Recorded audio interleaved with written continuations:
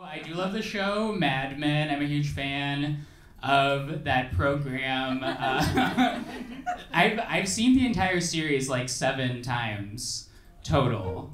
Um, so that's like 93 episodes, like altogether. I've done the math. That's like a thousand hours of my life that I've spent with that show. And very recently, I came to the conclusion that like I don't think I even really like the show Mad Men. Um, I'm pretty sure I just like being horny.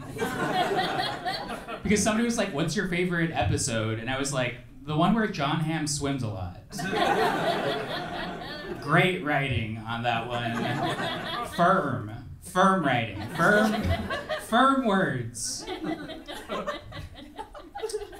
I started watching that show when I was kind of like coming to terms with my sexuality, and so like the show is essentially just like men in suits who speak like they're narrating a chess tournament, and I would just stare at it and be like, "Yeah, I'm gay, uh, for sure." And now to this day, I do enjoy hooking up with older guys because it feels like they could be characters in the Mad Men universe. You know, just like a side character who like never had any words. They just like held the elevator for Don Draper in one episode. Like he'll be like, "What turns you on?" And I'll just like look at him and be like, "Tell me where you were when JFK died."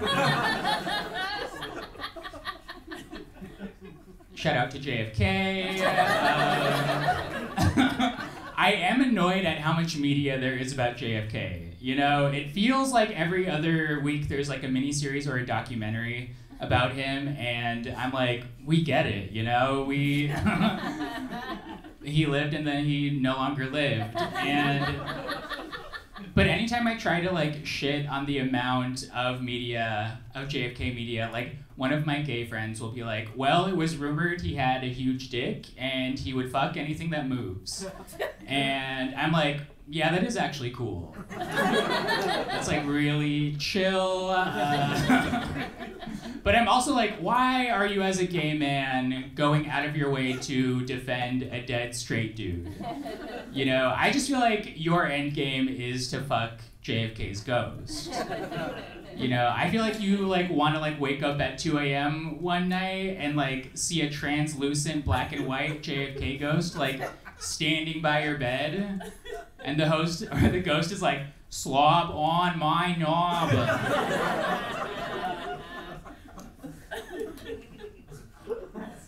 Fake JFK impression. um, I did recently. Wait, no, not recently. I did take a. Okay, part of also living in New York is like it was kind of just like a fun. Um, people would be like, it's a liberal bubble, uh, which is kind of true, but um, I can tell that like those people have like never gone on a date with somebody named um, Mark. I'm trying. To, that's not his name, obviously. But okay, so I went. I went on a date with Mark. We went to a gay bar. Uh, the date was going well, um, but then out of nowhere, we just we like we started talking about cops, and uh, I was like, oh yeah, I like hate cops, you know, like. But then Mark was like, I do too, but I'm not like a cab or anything. And I'm like, what do you mean by that? And he was like, well, some of my friends are cops. And I was like, how many friends?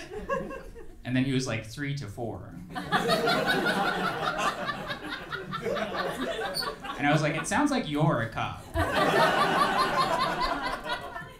And then he could tell that like he was trying to backtrack and then in like the worst way possible, which was just him shouting, I was at the protests. I was at the protests. While like Whitney Houston's I Wanna Dance with Somebody is playing. And I was like, okay, but like which side, you know? Like I feel like I shouldn't have to ask. Um, I do think that like there's already enough letters in LGBTQIA plus, but maybe there is. It's worth adding like a letter on the end, like S for which stands for some cops are bastards. Uh, and that is for queer people who have three to four cop friends.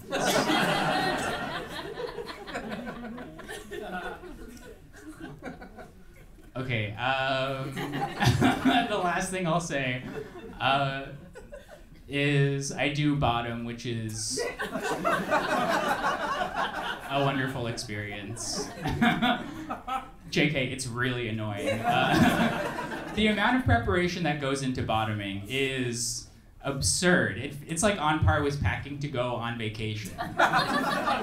it's like, which is the worst part of going on vacation, but at the end of the day, I'm like, yeah, I do want to go on vacation. So let me do it five minutes before I run out the door. Um, that being said, I have accidentally shit on a dick while getting penetrated. Other than that, I'm absolutely flawless. The guy, the guy who was on the other end of that, he he had white sheets. And so, and then he was like upset, but I'm also just like, you had to have known that was a potential outcome, you know? So he like goes to another room, comes back with white towels to clean up with, and I'm like, wait, if you're gay and you only have white linens, I do consider you a part of the one percent. And me just, like getting my shit on your stuff is an act of anti-capitalism. you know, I did that like for the people.